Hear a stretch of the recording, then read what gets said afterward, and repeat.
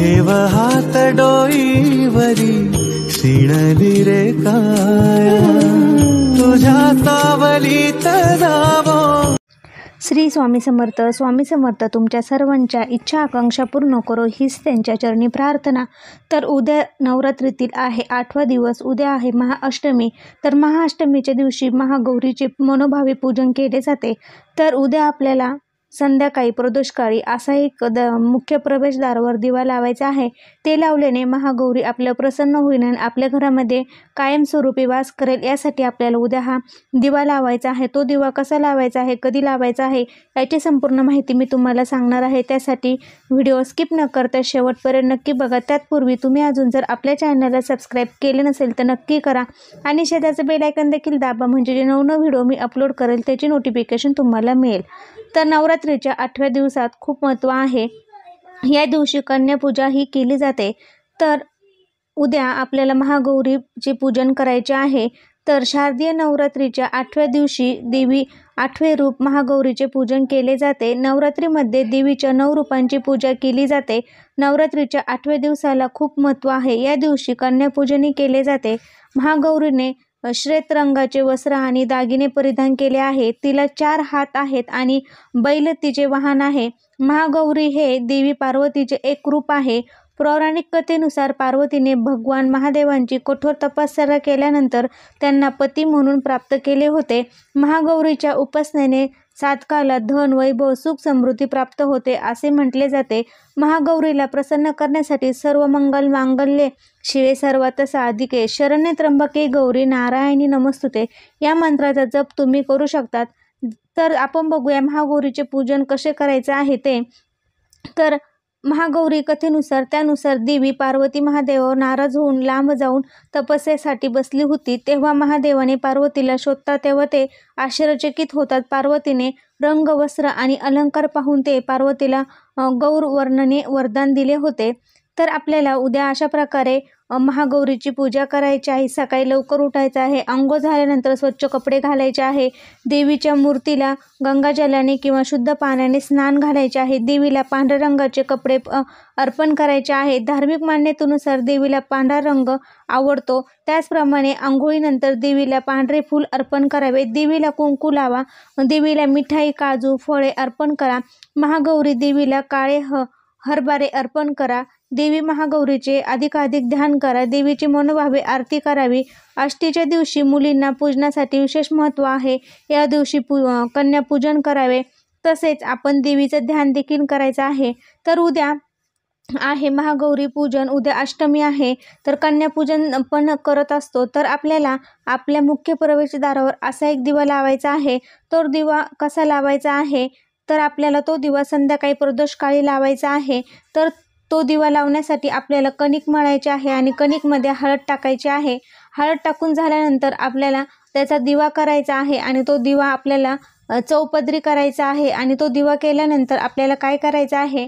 तो दिवा केल्यानंतर त्यामध्ये आपल्याला उद्या तुपाचाच वापर करायचा आहे. देशी गाईचं तूप टाकून आपल्याला चार वाती लावायच्या आहेत त्या वाती डबल वातीची एक वात करायची आहे. म्हणजे आठ वाती घेऊन त्याची आपल्याला चार वाती करायच्या आहे. आणि त्या वाती केल्यानंतर आपल्याला त्या दिव्यामध्ये टाकायच्या आहे आणि आपण त्या वातीला थोडीशी हळद लावायची आहे. कारण की हळद देखील माता लक्ष्मीला पार्वतीला अतिशय प्रिय आहे. त्यामुळं आपण त्याला हळद लावायची आहे. आणि हळद लावल्यानंतर आपण दिव्यामध्ये टाकून त्यामध्ये तूप टाकायचं आहे. तूप हे भगवान विष्णूंना देखील प्रिय आहे. त्यामुळे तूप टाकायचं आहे आणि तो दिवा आपल्याला आपल्या मुख्य प्रवेशद्वाराच्या उजव्या हाताला प्रज्वलित करायचा आहे. आणि त्यामध्ये आपण तो दिवा प्रज्वलित करण्याअगोदर त्याला खाली आसन द्यायचं आहे.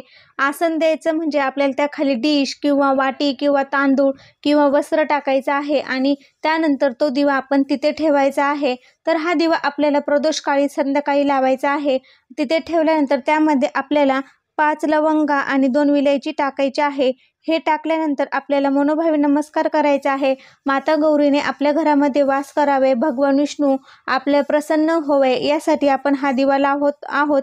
उद्या आपल्याला महागौरीची पूजा करायची आहे. उद्या अष्टमी देखील आहे. उद्या आपण कन्यापूजन देखील करायचं आहे आणि हा दिवा लावल्यावर आपल्या घरावर माता लक्ष्मी आकर्षित होईल आणि आपल्या घराकडे प्रवेश करेल. त्यासाठी नक्कीच तुम्ही उद्या मुख्य प्रवेशद्वारावर हा चौपदरी दिवा लावायचा आहे. कारण की बघा उद्या महागौरीचे पूजन आहे. भगवान महादेवांनीच पार्वतीला महागौरीचे रूप असे म्हणून ओळखले आहे. तर त्यामुळे आपल्याला नक्कीच हा चौपदरी दिवा लावायचा आहे. आणि तो दिवा प्रज्वलित करताना आपल्याला सर्व मंगल मांगल्ये शिवे सर्वात साधिके शरण्य त्र्यंबके गौरी नारायणी नमस्तुते. या मंत्राचा जप करत राहायचा आहे. आमच्या घरामध्ये सुख शांती समृद्धी वैभव नांदू दे असं म्हणायचं आहे. कधीच कशाची कमतरता पडू न पडू नये. लक्ष्मी कायम घरात वास करावी असं म्हणायचं आहे आणि तो दिवा आपण प्रज्वलित करायचा आहे. आणि दुसऱ्या दिवशी आपण जो कणकेचा दिवा केलेला आहे चौपदरी तो दिवा आपल्याला निर्माल्य निर्माल्यमध्ये न टाकता आपल्याला एखाद्या झाडाखाली जिथे किडे खातील अशा ठिकाणी ठेवायचं आहे. आणि ज्या वाती आहे त्या आपल्याला मा जा एखाद्या झाडाखाली किंवा कुंडीमध्ये थोडासा खड्डा करून त्यामध्ये त्या वाती टाकायच्या आहे त्यासुद्धा आपण निर्माल्यामध्ये टाकायचं नाही आहे कारण की आपल्या घरामध्ये घटस्थापना आहे. आपण घरामध्ये देवीची सेवा करत आहोत. त्यामुळं आपण तो दिवा देवीला प्रसन्न करण्यासाठीच लावलेला असतो. त्यामुळे त्या वाती अजिबात निर्माल्यामध्ये टाकू नका. तुम्ही ज्यावेळेस घट विसर्जन करणार आहे त्यावेळेस त्या वाटी त्यामध्ये टाकून शेतामध्ये किंवा पाण्यामध्ये सोडून देऊ शकता. तर अशा प्रकारे तो दिवा आपल्याला उद्या संध्याकाळी प्रदोष टायमिंगला म्हणजे ज्यावेळेस संध्याकाळी लक्ष्मीची वेळ असते दिवाबत्तीचा टायमिंग असतो त्यावेळेस हा चौपदरी दिवा लावायचा आहे.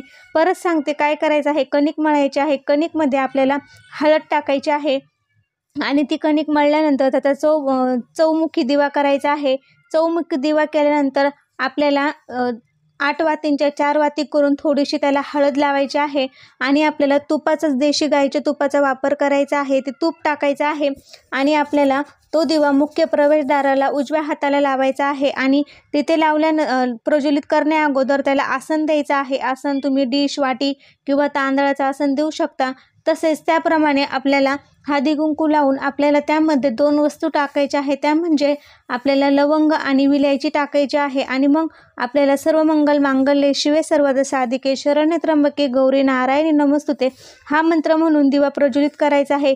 घराच्या सुख शांती समृद्धीसाठी लक्ष्मी नांदावी यासाठी प्रार्थना करायची आहे. आणि त्या लवंग आणि विलायची आहे. त्या दुसऱ्या दिवशी आपल्याला अशाच कुंडीमध्ये थोडासा खंडा करून त्यामध्ये टाकायच्या आहे त्या निर्माल्यामध्ये कचराकुंडीमध्ये टाकू नका. तर अशा प्रकारे उद्या नक्कीच तुम्ही हा चौमुखी दिवा लावून बघा.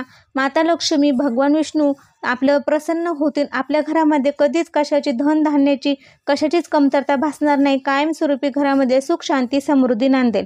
कसा वाटला व्हिडिओ? ते कमेंटद्वारे नक्की सांगा. श्री स्वामी समर्थ. धन्यवाद.